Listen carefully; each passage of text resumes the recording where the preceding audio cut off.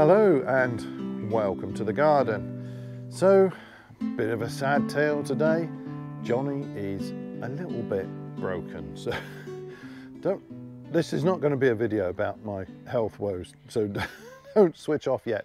This is a video about some changes that we're going to make in the garden and, and how we're going to do them to save me a little bit of effort this year. So, I have mentioned on a couple of previous videos that I've got a heart problem and this year I am struggling a little bit with the garden. It's one of the reasons why wherever possible I like to use a, a no dig method because it is a lot less physical effort. Just spread the compost on the top of a bed, leave it to the worms and other soil organisms to deal with it for me and wherever possible that's how we like to grow. Now I'm stood in one of our borders here and the soil in these is not nearly as nice as in our main veg beds. We're surrounded by gravel pits here so there's a lot of stone in the soil. In the main beds we've sieved all of that out years ago and it, they've had tons of compost on them and that's improved the soil and, and they're lovely. The soil in those is great. In the borders here it tends to be pretty compact and still very stony. So the soil isn't brilliant here and that's why in some cases I have to at least do a bit of loosening with the fork if not some proper digging. So um, these are always a bit more work for me. Now what we've decided to do because it, it's all get it's all a little bit challenging for me this year is um, put part of the garden to sleep. So where I'm standing, this border down to the fence and the first, the first block to the right there, we're going to cover all of this and we're not going to grow anything here this season. So I had planned to be filling this. This had lots of brassicas and legumes last year and various leafy things that had a big patch of chard and so on. So I'm going to have to scale back what I'm sowing and growing. But actually, I've already got the most important things well in hand. So most of our alliums are dealt with. I do have leeks that um, I'd like to um, prick out, pot on and eventually plant out into one of the main beds. But our, our main crop of onions and shallots and garlic that's all done. I've got the pepper and chili plants, well, they're more or less ready to be potted up or planted in their final positions. They're quite big plants now. The grafted tomatoes are all done. So all of the things that are on a, the top of our list of must grows, they're already, they're already underway or in the ground. So we've got plenty going on here already. So I think I could probably live without the extra work of planting up and preparing this border here. So that's what I'm going to do. I'm just going to take a bit of the workload away. So this video is not really about that. It's about how I'm doing it so that when I come back to use these again in the future, the soil is in perfect condition. So there are three points really. It, it's about feed, light and water. So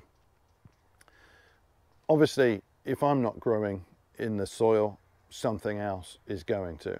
So if I'm not cultivating it, it's going to be full of weed. And in fact, it is full of weed. If I just step out of the way, you can see we've got the old brassica plants there, they're flowering.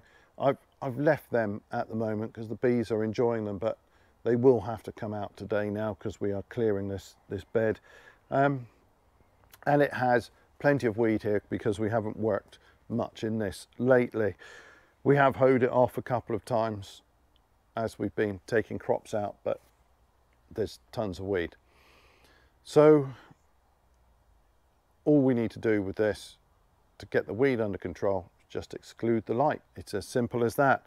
But there is one really important point, and that is it's much better to exclude the light with something that is permeable so that the water goes through because the soil needs water and if you if you cover it with I've seen I've seen beds covered with like old compost bags or plastic sheet or um, tarps, stuff like that, which will shed the water. And that, that means that the soil underneath is going to sit there and get very dry. And a dry soil is really a dead soil. It's not good. And it's something that one can often find in the greenhouse or polytunnel. If you're not cultivating part of it through the winter and you and you're not watering there of course because you're not growing then the soil becomes dusty and dead and horrible. So it's always a good idea to maintain at least a little bit of moisture in the soil so that it doesn't doesn't go like that. Um, so I'm not going to cover this with plastic sheet. I'm going to use a weed membrane. So it's a woven fabric. It, it's made it's still plastic but it's it's it's woven and it's permeable so that water can seep through it. So the soil underneath will remain nice and moist. And that third point is of course that the soil's not going to stay in good condition unless it's fed. So what we will do here we'll pull the big plants out we will take care of any nasty weeds so this part of the garden where I'm stood right now used to be part of the chicken enclosure and there are a few things that they didn't eat and therefore got established here. Nettles and brambles being two examples and I can see we've got a little bit of both of those still in this border. I've been getting rid of it and it's not too bad now but we'll, we will remove those because they are nasty and and just putting a cover over the top it takes a long time to deal with with nettle and bramble and they will run and pop up somewhere else. So we will dig out the nasty weeds, maybe maybe pull off or, or hoe off any, any large weed growth here. And then we're going to put down a thick layer of compost and we'll cover that with the membrane and that will keep this in perfect condition for quite a long time, at least a year. And maybe if I wanted to leave this uncultivated next season, I might peel back that membrane, spread a little bit more compost. But anytime you want to take a bed out of use, if you're, if you're fit and healthy, of course, you can grow a green manure, field beans or some clover or, or something that's going to improve the properties of your soil. And at the end of that period you, you can chop and drop or cut the top growth away and compost it. And anyway, you're, you're doing something valuable with the soil. And of course that's better than covering it. But if you get to a point where maybe you're too busy to manage the whole thing or maybe you've taken a crop out at the end of summer and, and you don't plan to put anything in until the following summer, it's not a bad idea if you've not got too much time or not too much energy to maintain it any other way, then covering it is a sensible thing to do. But before covering it, putting down some organic matter, it's going to feed those soil organisms. You, will come back to it and find that you've got a really healthy soil there, ready to grow some great plants and not a dead, dry, dusty patch which isn't going to support healthy plant growth at all. Anyway, that's basically it. That's today's job. And I'm not even going to do most of this because my wife is coming down to give me a hand and we've got a friend popping over at some point to help out as well. So I think between them, they'll be clearing this and doing most of the heavy work. So that is good for me. Actually, I'm just off to try and put together some temporary compost bins. Now, we have a bonus material and the roof blew off of our outbuildings and I, I still haven't fixed that. That is a job I'm hoping to tackle this week. Um, we ended up with quite a few sheets of corrugated iron so I am planning to knock up some compost bins with those sheets of iron. I'm putting a different roofing material on, a lightweight one, so that when it does fly off again, if it flies off again, it's not going to cause the sort of damage that those sheets can do. Anyway, I will pop back at some point and show you what we're doing. But that is the plan for here, just to mothball part of the garden and keep it in perfect condition for when we want to come back another time and plant it up. Well, it's actually a few weeks since we cleared the main plants out of here, or I should say, my wife and a friend cleared the main plants out of here and all the perennial weeds are gone. There's been some regrowth of some of the annual weed, of course. Everything's been growing like mad in the last few weeks. Plenty of rain and nice warm temperatures. That's all been sort of roughly hoed off. I don't have to be too fussy. The perennial weeds are out, so the annuals will die off when we cover them anyway. We've got some horse compost here, a few piles of it. We're going to need more. All I'm going to do is just rake that out over the surface so that there's a reasonable layer covering this. Couple of inches and that is then going to feed this soil as we cover it and leave it kind of dormant. So yeah, I'll come back when these are covered.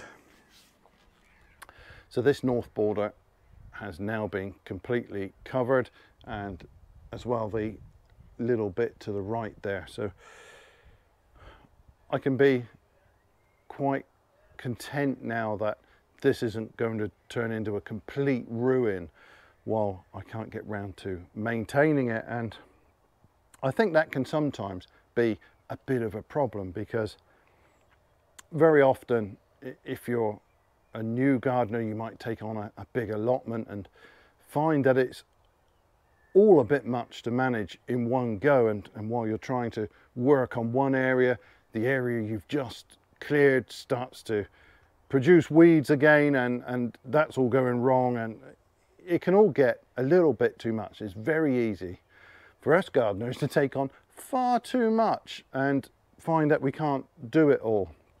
So I think it's far better to recognize when you've got that kind of situation and and cover that ground, whether it's with, well, of course it can be with a green manure, but whether it, uh, I'm thinking more of covering it with card or this type of weed fabric or even newspaper, what, whatever it is, cover that up, keep that weed growth down so that you're not, you're not storing up an extra burden. So this would have turned into a complete nightmare for me because I didn't have the time to cultivate this space.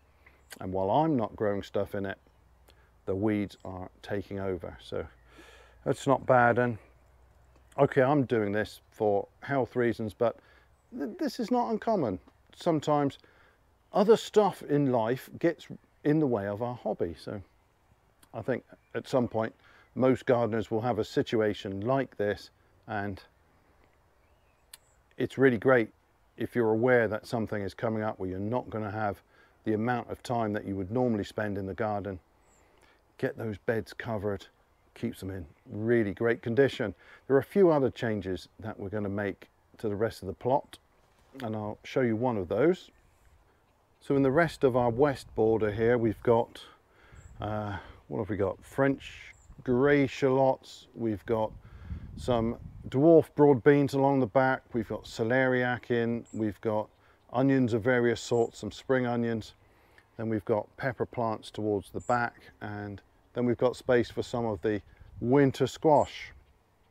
So I am using this this season, but I think we're going to cover this border in exactly the same way. We will, as we clear these crops, we will spread some compost, either our own or then some more horse compost, and we will get that weed fabric down and and we'll just take this entire border out of cultivation for who knows but at least at least one year I would have thought and probably next year we're just going to use the main veg beds and I think I'm going to have to think a little bit more carefully about what I'm going to sow and grow.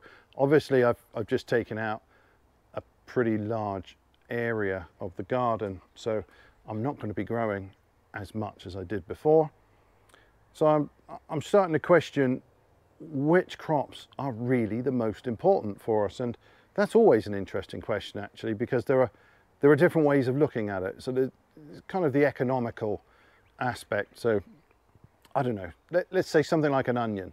It's cheap as chips to go and buy a great big sack of plain old onions from your greengrocer. Why, why bother growing them? But on the other hand, the onions that one can grow when you pick some really great varieties. So this year I've got again the Rose de Roscoff, I've got the Tropea Rossa onion and you just can't buy onions like that from the greengrocer or, or your regular supermarket. They're, they're not available.